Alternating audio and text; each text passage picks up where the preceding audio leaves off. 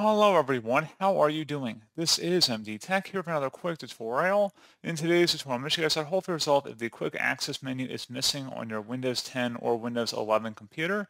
So this should hopefully be a pretty straightforward process here guys, and without further ado, let's go ahead and jump straight into it. So all you have to do is open up File Explorer, so open up the search menu and search for File Explorer. Best result should come back with File Explorer. Go ahead and open that up. And now you want to select the three dot icon at the top right. That's the action button that says see more. Just go ahead and left click on that and then select options. Now on this page underneath the general tab, you want to go underneath the privacy area. So you go check under there. Select clear. And then when you're done, select the view tab. Scroll down to the navigation pane section. And you want to enable these items under here. So anything underneath navigation pane, you want to go ahead and check mark and then select apply and OK. And then that should hopefully be about it.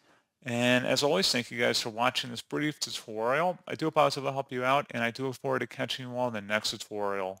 Goodbye.